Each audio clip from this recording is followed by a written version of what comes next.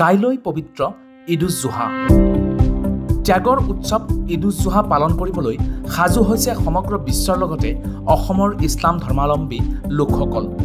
ঈদৰ সময়ত বিভিন্ন কাৰণত দান বৰঙণি সংগ্ৰহ কৰে মছজিদ তথা ঈদগাহ সমিতিসমূহে। এইবেলি ঈদ উজ জোহাৰ কোৰবানীৰ উপৰিও বিশেষভাৱে বানপীড়িত ৰাজ্যৰ বাবে বান সাহায্য সংগ্ৰহ কৰাৰো সিদ্ধান্ত গ্ৰহণ কৰিছে ইছলাম ধৰ্মাৱলম্বী লোকসকলে। প্ৰস্তুতি আগে পিছে যেনেকৈ যেনেকৈ চলা হয় তেনেকৈ হৈছে।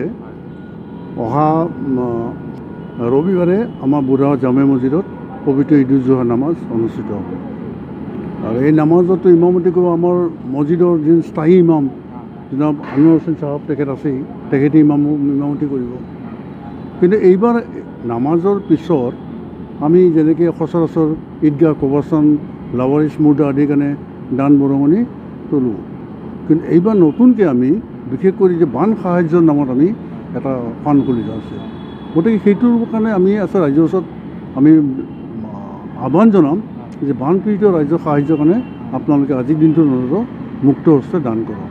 আমাৰ এইটো এইবছৰ ঈদৰ নামাজৰ আগে আগে যিটো সমূহীয়া চান্দা উঠোৱা হয় কবৰস্থান ঈদগাহ ইত্যাদি এইবাৰ আমাৰ ইনশাল্লাহ বানপীড়িতিৰ লোকৰ কাৰণে এবাৰ ভয়াৱহ পৰিৱেশ হৈছে বানৰ। আমি সকলোৱে জানো বিভীষিকা এতিয়াও শিলচৰৰ কিছুমান মানুহ পানীৰ তলতে আছে।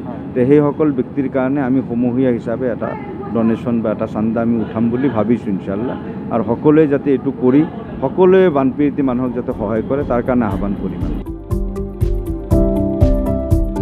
যিহেতু শেহতীয়া বান পৰিস্থিতিয়ে অসমৰ লাখ লাখ লোকক আৰ্থিকভাৱে জুৰুলা কৰিছে বানে বিধ্বস্ত কৰি যোৱা বহু ঠাই এতিয়ালৈ হোৱা নাই বানমুক্ত।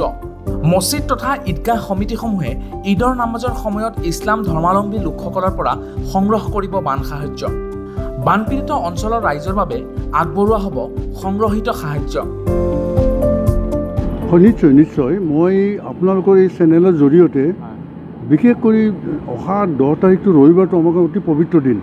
গতিকে এই দিনটোত এই যে মহান কামটো যাতে কৰা হয় গতিকে আপোনাৰ চেনেলৰ জৰিয়তে মই সমগ্ৰ অসমৰ মছজিদ কমিটিসমূহলৈ আহ্বান জনাইছোঁ ঈদগাহ কমিটিসমূহলৈ আহ্বান জনাম যে তেওঁলোকেও যাতে বান সাহায্যৰ নামত এটা যাতে এপিল কৰে আৰু যে সাহায্য তোলাৰ যাতে ধন সংগ্ৰহ কৰাৰ ব্যৱস্থা কৰে।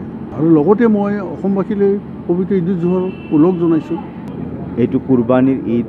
ঈদ উজ জোহা মানে আমি কুৰবানীৰ ঈদ বুলি কওঁ অৰ্থাৎ ত্যাগ স্বীকাৰ কৰাৰ ঈদ। আমি সেইদিনাখন শান্তি সম্প্ৰতি সমগ্ৰ বিশ্বৰ লগতে আমাৰ অসমবাসী জাতি ধৰ্ম নিৰ্বিশেষে সকলোৰে ভাল কামনা কৰি আমি দোৱা কৰিম ইনশাল্লাহ লগতে এনে বিভীষিকাময় পৰিস্থিতিৰ পৰা অসমবাসীক উদ্ধাৰ কৰাৰ বাবে ঈদৰ নামাজৰ সময়ত আল্লাহৰ ওচৰত দোৱাও কৰা হ'ব।